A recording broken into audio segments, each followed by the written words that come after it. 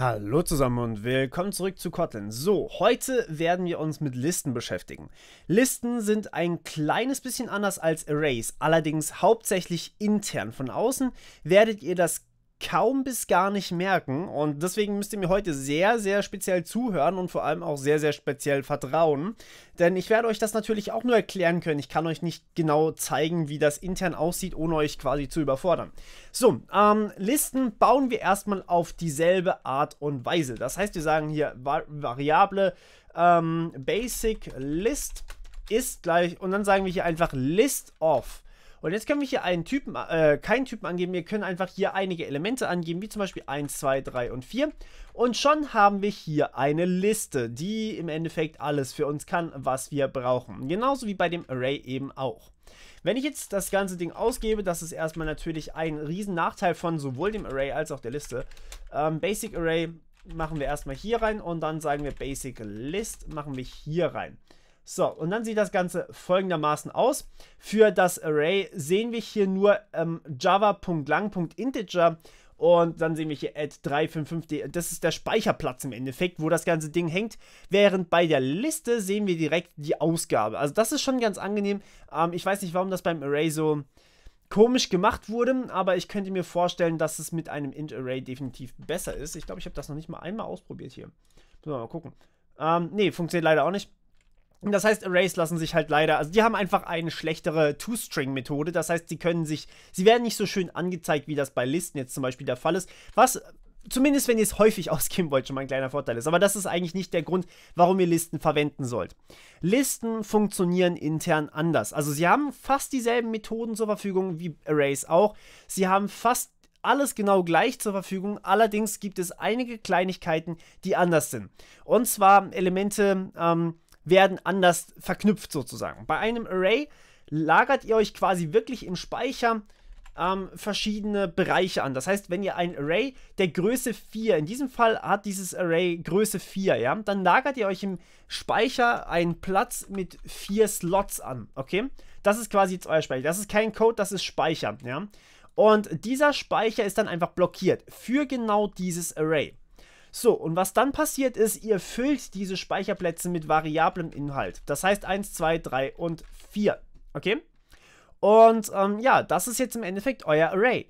Wenn ihr jetzt allerdings ein neues Element hier hinten dranhängen wollt, dann müsst ihr dieses Array hier komplett löschen und ein neues Array anlegen mit fünf Speicherplätzen, damit ihr ein neues Element anhängen könnt, damit auch wirklich diese fünf im Speicher reserviert sind sozusagen. Ja? Und das ist der große Unterschied zur Liste. Listen haben eigentlich gar keinen reservierten Speicherbereich. Dafür haben sie einen Pointer. Das heißt, der sagt ihnen, hey, schau mal, hier fängt diese Liste eigentlich an. Und dieser Pointer sagt in diesem Fall gerade, hey, schau mal hier, das ist das erste Element der Liste. Das heißt, ich mache hier einfach mal so ein Ne, das ist vielleicht nicht gut. Ähm, Bodenstrich rein.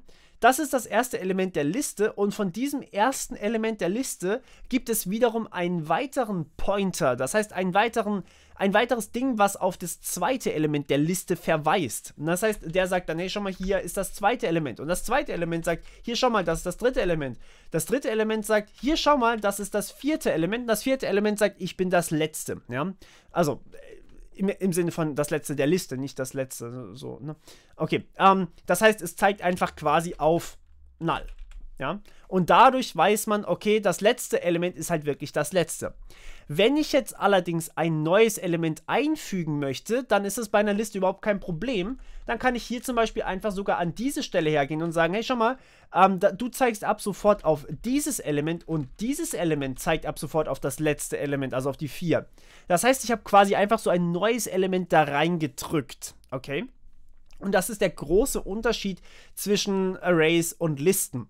Das hat jetzt natürlich einige Implikationen. Ähm, und zwar kann man hier sagen, Arrays, wenn ich da nachschauen möchte, was zum Beispiel gerade an Stelle hier, an dieser Stelle steht, also an 0, 1, 2, 3, an äh, mein Array von 3, ja, was da drin steht, dann ist das sofort machbar. Ich muss nichts rechnen, ich kann einfach sagen, bam, ich nehme das erste oder ich nehme im Endeffekt das erste Element und rechne da einen gewissen Offset von zum Beispiel immer 32 Bit rein oder sowas und dann kann ich direkt auslesen, weil die ja wirklich im Speicher hintereinander stehen. Kann ich direkt sagen, ich lese das Element aus und kein anderes. Das ist sofort erledigt, ja. Das geht super schnell bei Arrays und ihr werdet das merken, wenn ihr irgendwas ähm, effizientes programmieren müsst, wie zum Beispiel ein Spiel oder sowas, dann werdet ihr sofort den Unterschied zwischen Arrays und Listen merken. Wenn ihr die ganze Zeit mit Listen arbeitet und häufig nur auf, Array, äh, auf eure Elemente zugreifen müsst, dann ist das Array deutlich schneller.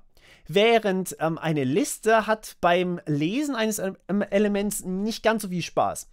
Da musst du zuerst hierher gehen, also auf das erste Element, dann musst du den Verweis folgen aufs zweite Element, dem Verweis folgen aufs dritte Element, dem Verweis folgen aufs vierte Element. Sprich, wir müssen hier äh, mehrere Operationen machen. Das hier ist eine Operation, ja.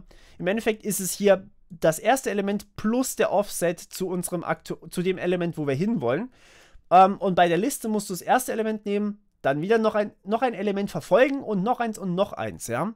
Und das dauert natürlich ein bisschen länger, vor allem wenn die Liste wirklich, wirklich lang ist. So, ähm, das spricht jetzt alles absolut gegen Listen, das ist aber auch kompletter Quatsch. Was ich, also, es ist nicht Quatsch, was ich erzählt habe, aber es ist nicht das Einzige. Also, Listen haben natürlich noch einige Mechanismen dran, die das Ganze effizienter machen. Das heißt, man kann hier sagen, okay, vielleicht sind sie in beide Richtungen verkettet, dass ich in beide Richtungen gehen kann. Dann kann ich zum Beispiel immer das vorige Element ähm, verwenden und das Nachfolgeelement kann ich auch verwenden. Das heißt, ich kann in beide Richtungen laufen und das letzte Element ist wieder auf das erste Element verknüpft zum Beispiel. Also solche Implementierungen gibt es auch. Dadurch wird das Ganze dann nochmal ein bisschen schneller und schneller und schneller. Des Weiteren, wenn ich ein neues Element einfügen möchte in ein Array, dann ist das fast unmöglich. Ähm, das ist wirklich, wirklich aufwendig, intern zumindest. Während bei einer Liste, wie gesagt, da kann ich einfach diesen Zeiger hier umbiegen und schon war es das, ja. Oder in dem Fall muss ich beide Zeiger umbiegen und kann dann hier einfach ein neues Element einfügen. Überhaupt kein Problem. Bei einem Array muss ich wirklich ein neues Array bauen, also wirklich neu Speicher anlegen, ein neues Ele äh, Array bauen und dort dann wiederum ähm, mein neues Element einfügen und das dann als neuen Typ ähm, zurückgeben. Das ist ziemlich aufwendig, weil es natürlich auch auf den Speicher zugreift und neu alles kopieren muss. Das heißt, wenn euer Array wirklich lang ist, müsst ihr es komplett kopieren, bis auf ein Element, wo ihr dann quasi ähm, was Neues reinschreiben müsst.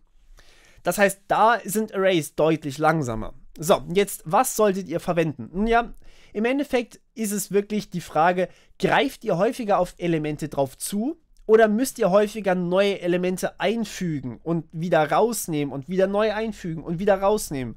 So Sachen. Das ist im Endeffekt die große Preisfrage und je nachdem solltet ihr euch auch entscheiden, ob ihr eine Liste verwendet oder ein Array. Ähm, eine Sache muss man für Kotlin speziell noch hinzusagen und zwar Listen sind hier generell immutable. Das heißt nicht veränderlich. Das heißt, was hier passiert ist, wenn ihr hier ein neues Element einfügt, also ich mache das mal ganz kurz hier, ähm, sagen wir mal, wir wollen eine Added List haben, ja, also quasi wir fügen etwas zu einer Liste hinzu. Können wir das super einfach machen, indem wir hier sagen, wir nehmen unsere Basic Liste und dann fügen wir das Element 5 hinzu, ja. Und das funktioniert auch ganz gut, aber ähm, was machen wir denn hier nochmal? Wir geben uns einfach mal die Added List aus. So. Und ähm, das ist im Endeffekt jetzt eine neue Liste, okay? Wenn ich das jetzt hier mit Basic List machen würde, ich könnte natürlich auch sagen, Basic List ist gleich Basic List plus 5 oder ich könnte auch einfach sagen plus gleich. Das heißt, ist genau dasselbe, wie wenn ich hier 5 einfügen würde. Also im Endeffekt steht hier Basic List ist gleich Basic List plus 5. Der Unterschied hierbei ist jetzt allerdings dadurch, dass Listen standardmäßig immutable sind, also quasi unveränderlich sind, ist ein neues Objekt erstellt worden. Eine neue Liste ist erstellt worden hier für Basic List. Und das wurde dann halt einfach in Basic List reingeschrieben in unseren Variablenname. Das heißt, hier arbeitet ihr nicht mehr mit demselben Objekt wie hier. Also ähnlich wie das bei Arrays leider auch der Fall ist. Das heißt, euch bringen ähm, diese Listen ein, naja, nicht unbedingt den besten Geschwindigkeitsvorteil hier, außer also diese immutable Listen in Kotlin bringen euch jetzt, was Einfügen angeht, nicht wirklich einen guten Vorteil, aber was ihr eben trotzdem machen könnt, ist, ihr könnt auf den einzelnen Elementen, die ja nacheinander verkettet sind, relativ effizient viele Operationen ausführen. Ja? Das heißt, ähm, im Endeffekt ist es schwierig zu sagen, ob ihr jetzt lieber ein Array verwenden solltet oder eine Liste verwenden solltet. Ich denke, das ist auch hauptsächlich Geschmackssache, mit was ihr lieber arbeitet. Ich will euch aber auf jeden Fall beide Varianten zeigen. Und dann gibt es natürlich auch noch die Immutable-Liste, äh, die Mutable-Liste, Entschuldigung, das ist die Immutable hier, die wir hier haben. Und die Mutable-Liste, die finden wir dann weiter hinten in der Playlist, die aber im Endeffekt auch genau dasselbe kann wie die Liste, nur dass sie eben veränderlich ist. Das heißt, wenn ich jetzt hier eine Basic-Liste plus gleich 5 rechne, dann ist das immer noch dieselbe Basic-Liste. Ja? Ähm, und ähm, wenn ich jetzt hier zum Beispiel ein Value draus machen würde, dann könnte ich das hier nicht machen, weil da wird wirklich Basic List überschrieben. Während bei der Immutable-Liste wird sie nicht überschrieben. So, das war jetzt sehr viel Input. Ähm, ich hoffe, euch hat es trotzdem einigermaßen gefallen. Nächstes Mal wird es wieder ein bisschen praktischer. Da laber ich nicht so viel, sondern zeige euch nur ein paar Funktionen. Und ja, wir hören uns. Bis dann. Ciao.